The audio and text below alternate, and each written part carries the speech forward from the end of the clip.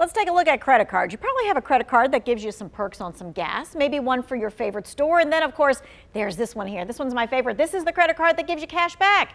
So let me ask you, do you need a medical debt credit card?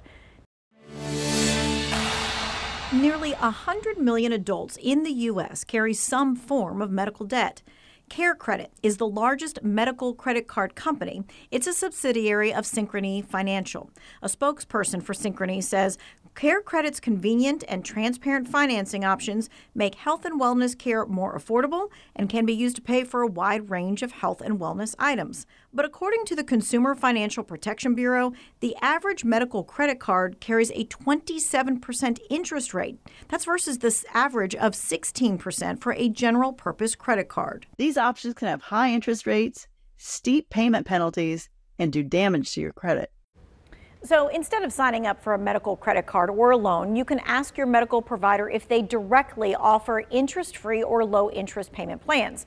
Consumer Reports suggests if you do go to the emergency room, instead of handing over your credit card to pay, ask for the invoice to be sent to your insurance company. If you're uninsured, you want to ask for that invoice to be mailed to you so that you can figure out how to pay or negotiate it when you are much calmer and in a better setting. Now, if you're confronted with a hospital bill that you just simply can't afford, ask if there's a charitable program that you can apply for. There's one that is called dollarfor.org, and I'm going to put this resource in the two wants to know section